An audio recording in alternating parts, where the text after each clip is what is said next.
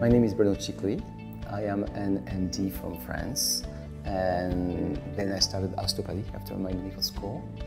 I also did a license in psychology in France and um, I always knew I wanted to do something else because I did Aikido when I was 12 years old. There's a lot of hands-on and somehow Chinese medicine. So after medical school I did osteopathy, Chinese medicine, homeopathy and I think my, my love always was osteopathy. Moved in the United States in 1996. That's where I live right now. And I travel, travel once or twice a year uh, in all the osteopathic schools in Europe to teach uh, different subjects. Mainly, I teach uh, lymph and the brain class. So lymph class was my first uh, little uh, uh, protege, my first little class, when we uh, work with a very specific rhythm and um, depth and uh, quality and direction of the lymph flow. It's very osteopathic and we can work with every organs, every viscera, the uterus, prostate, ovaries, the lungs, the pleura, the liver, adrenals, all the way to the pia and the dura that have lymphatic vessels.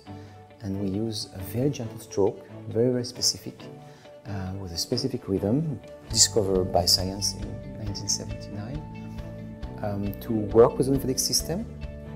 And also, we use it to diagnose osteopathic lesions and we can treat them with a, fulcrum we use on the fascia and the fluid at the same time this is called lymphofascial release. We apply that on, on viscera, fascia, or joints.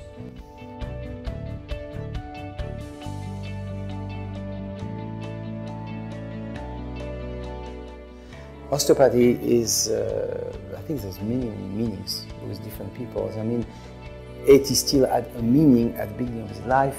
Toward the end of his life, it changed a little bit, uh, you know, with introducing of more medical approach to it. And obviously today it's much different and different between countries. In America it means something else. When every osteopath are physicians, licensed physicians, they can do surgery.